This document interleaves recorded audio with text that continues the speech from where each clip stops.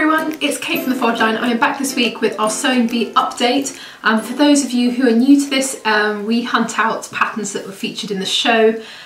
And if you haven't seen last night's episode, don't watch this. Go and watch it and then come back to it because we've got spoilers. Um, so this week was upcycling week. The theme was using old um, clothing and fabric to make new fab, new things. So the first challenge was a waistcoat challenge and they had loads of, um, it was fantastic, they had loads of old suits and jeans and loads of things to pick from and they could, um, and it was quite an involved make this waistcoat. I don't know if anyone else thought that when I saw all the pieces coming together. So we've got the perfect pattern that this one is, I mean, literally spot on. Um, it's the men's Belvedere waistcoat from Thread Theory.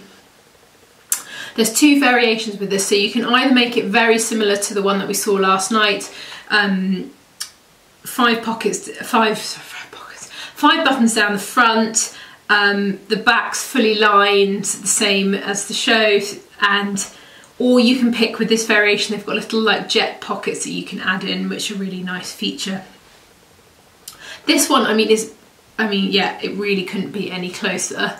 Uh, I thought this was kind of perfect and once I'd seen that I was like I'm not going to look for other ones because this one is spot on and it, it's for those of you who haven't come across Thread Theory before they um, specialise in men's sewing patterns so they're really fantastic if you're looking for some if you want to make something for men make menswear patterns so the next challenge, which we don't hunt out the patterns for because what they make is so bananas, is the upcycling challenge. And this one was using um, army camo, sort of leftover camo to make things. So there were, it was a really good challenge and actually I thought what they made this time, as the weeks go on, what they're making is becoming more and more wearable because sometimes what they make is quite crazy. So the final challenge was um, the theme, well usually they have a, a kind of a garment theme but this week, because it's upcycling, they were using denim was the theme. So they were using denim to create dresses. Really interesting, you know, what they did. And I'll talk through them as we kind of go through. So let me start at the top. So the first person I'm going to talk to you about is Farie's monochrome dress. This was really interesting because, um, let me just pull up the pattern, sorry my laptop is here. This was really interesting because it had a, um, it was like a pencil dress. It had a panel kind of going down the centre front and a zip that went from the cent kind of off centre all the way down to the bottom. And it meant that the, the, the kind of flap then sort of kind of flapped back over on itself. I was really chuffed with this because I know this is the right pattern. I caught a little glimpse of it a very grainy number and I managed to work out what it was. It is the Vogue 1593. So what Farie did, which was really interesting, if I show you the line drawing of this pattern, you'll understand. So the central panel that you can see kind of kind of either side of the centre front, um, she had these sort of chevrons going down, that's not the word, um, sort of diagonal kind of pieces in black and white monochrome kind of going down the front. And it was really striking. I thought it was really beautiful. So I know that this pattern is right. I was really really pleased. So next up we have got Serena. Sorry. See I had had hadn't got everything in order. So, so Serena, this one I know also is right. I caught a glimpse of the cover of the pattern, so I managed to work out which one it was. Hers was really interesting. So it was a panel dress, so it was quite fitted at the top. It had sleeves and it flared from the waist and it had a seam at the at, at, the waistline as well. What was really nice, is so she used panels of denim that were different colours on each panel and it gave a really kind of interesting look. And she also caught um, a kind of tab into two seams which kind of buttoned over the front which was like the button, button of a pair of jeans which I thought was a really nice detail. So the pattern that she used was the Vogue 9050. Um, when I show you the line drawing there's loads of variations that you can do with this dress.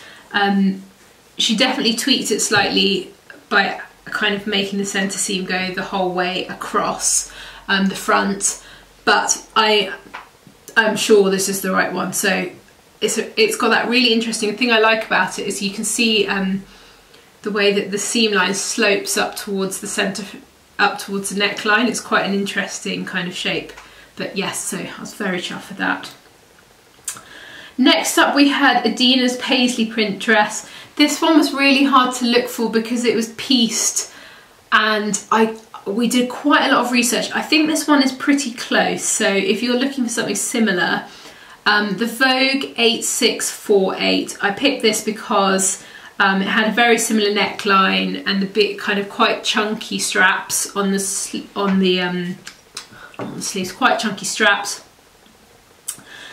Lots of seams on this one. It's really hard to tell what seams um,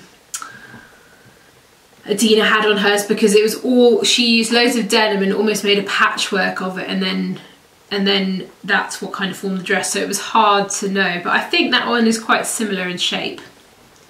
Um, next up we have got Raf's um, ocean dress which was absolutely incredible.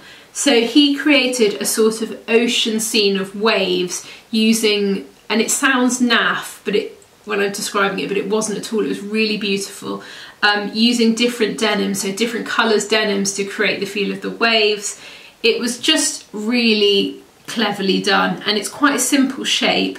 I did struggle actually with this because it's a sort of halter neck um, and then it was quite it was quite loose fitting. I think to be honest everything was about the sort of um, not even print, but the kind of texture that he created on the front of the dress. So the pattern that we've got is the Simplicity 8594.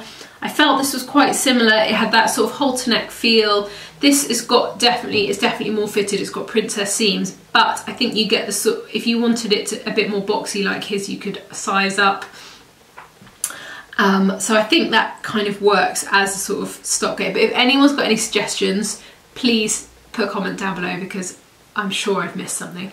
Um, I know that he does draft quite a lot of his own things, so I feel like that's probably what he did with this one. Next up, we have got Damien's um, family fabric denim dress. This was quite sweet actually. He used um, his old pairs of jeans that he used out in his workshop um, to paint in, to fix his motorbike with. So it was really, it felt really nice because he was actually using his own, his own kind of clothes. Um, I am 99% sure this is right. I managed to catch a slight glimpse and work out roughly. I knew it was a Simplicity dress and then I looked through and I think this is it. So it's a Simplicity 8594. Um, Damien's dress. So it was v-necked, princess seamed, panelled skirt and pan um, seam at the waist and this dress has all of those features. So I will show you. It's actually a really lovely shape if you're looking for something for summer. This I think is a really good one. So again, princess seams. He's added a seam down the center front um, of the just the um, what's the like the front panel of the dress. Um, and I think that was to get like all the fabrication that he wanted in there. Uh, it then flares out from the waist. I think it's just a really lovely shape. So you can see from the picture, um, it's a good one. So I was really pleased with that one. So I think that one is spot on.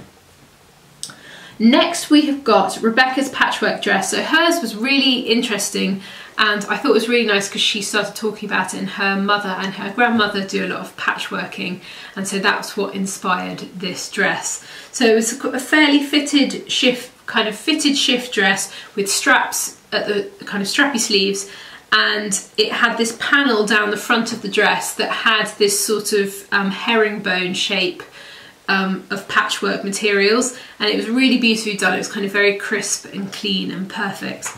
Um, the pattern that I found that I thought would work well is the McCall's 8034 so I'll just show you the line drawing so you get an idea because the kind of cover drawing looks quite different because it's got these big sleeves. So there's a strappy dress This one, um, the McCall's one has a seam right underneath the bust, which is different from hers, but it has a very similar feel and you've definitely got those seams down the front if you wanted to create that sort of panel.